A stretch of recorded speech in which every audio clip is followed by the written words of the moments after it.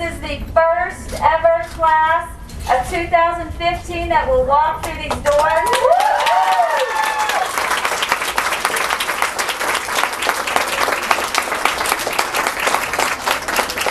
It was an idea that started, I want to say, five, six years ago, um, with a vision to create a school that was just for um, training medical professions. I think they knew the future was coming where there was going to be uh, jobs out there, but they wanted to really create something specialized. There's going to be some immediate curriculum development and um, my teachers, um, the teachers here are going to be working together on integrating, you know, their English, their math, their bio. How does that all fit in together to a health in a health career themed um, model? So that's the first, first and foremost. I've had to think and try to figure out how am I going to teach, what am I going to do, and it's we really are rein, we're inventing something new. So for me to start into the classroom, it's sort of like, oh my gosh, what am I really going to do? I think I'm going to have to do be very creative from on a day-to-day basis.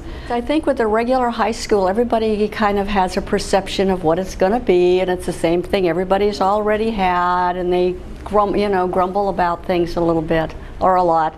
And and I think here because it's new, and we're focusing on things that people really can can use that the kids are more open to ideas? Well, I think it's exciting because um, like we're the first ones, and I kind of like being the first out of something. So it's exciting and fun. I like it because it's a small school and it's not too hard to like go to your classes, and there's not like a lot of trouble either. So I like it.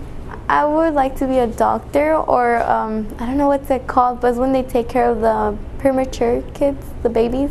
I like to help people, and this is one of my chances to help people and give back to other people who need help.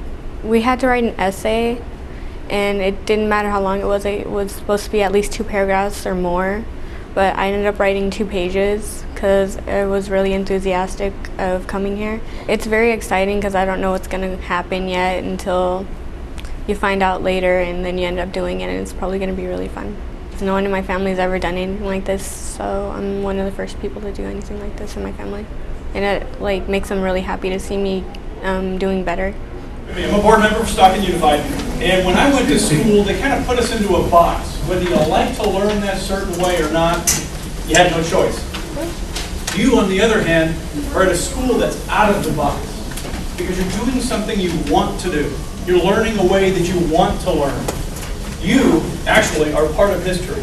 We read history books, we read about people that have gone through interesting things, started something new, and you go, oh my gosh, that's great that they can do it, but what am I going to do? You actually are a part of history here in Stockton, San Joaquin County.